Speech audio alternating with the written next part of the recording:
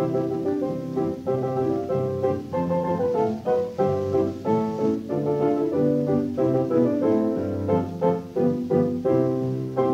Jeg af naturen er så beskeden, at jeg som regel holder mig tilbage. Men da jeg var i Malmø forleden, sagde jeg ved synet, at det kolde bord helle for en sild, og helle for en bøf, og helle for en helleflønder, og helle for en øl.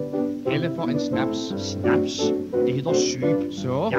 du drikker som en svamp, æder som en ild, du lever som en gammel sønder.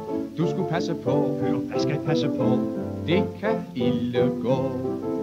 Jeg langt mere dybe interesser har, end at gå og syge på. Hvad er det, der svar? Jo, det er helle for et kys, helle for en vals, helle for en yndig pige. En med flotte ben, har jeg sådan en, så det er nok til mig. Haha, du er nøjsom. Så har du ikke set hende, kan jeg høre. Nej, ikke den sidste. Du er også morsom. Ja. Du, nu er det snart der igen. Er det mig? Ja, godt, der på. Tænk, hvis man kunne ønske sig alt, alt hvad man ville. Jamen, det har man jo lov til. Jo, men jeg tænker på, at hvis det nu faldt ned i kalotten, Hvad vil du så have? Uh, helle for en båd, helle for en bil, og helle for en tøs, jeg kender. Helle for en mund, og helle for en barm. Hør nu, du er vist lidt varm. Det passer. Helle for en stund ved Nelle Moses mund.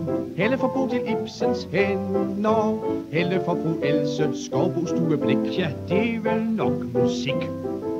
Hvis man kunne ændre på sit kontrafag, så var der et par små ting, jeg kunne tænke mig. For eksempel Ebberodes smil Gabriels profil. og Ib Schønbergs perlevenner, og så Hedebols ry offentlighed. Ja, så du sgu beskeden. Hvis man vil komponere en sang, så skal man bare, ligesom Henrik Clausen, hugge ideen. Prøv det en gang. Tag komponisten, Du kan vælge først. Helle for Beethoven. Nej, han er sgu for streng. Tag to selv i serenader. Helle for Franz Liszt. Helle for Chopin. Ja, det er en gammel dreng med vals i. Helle for Gounod. Han er også god.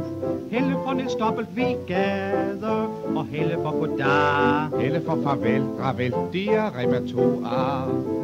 Hvis motiv man savner til en march med knas, så er der jo hos Wagner bum der kan tages. Jeg siger nu Helle for Jens Vej, mand og drømmerej, og Henry Carlsens sidste plade.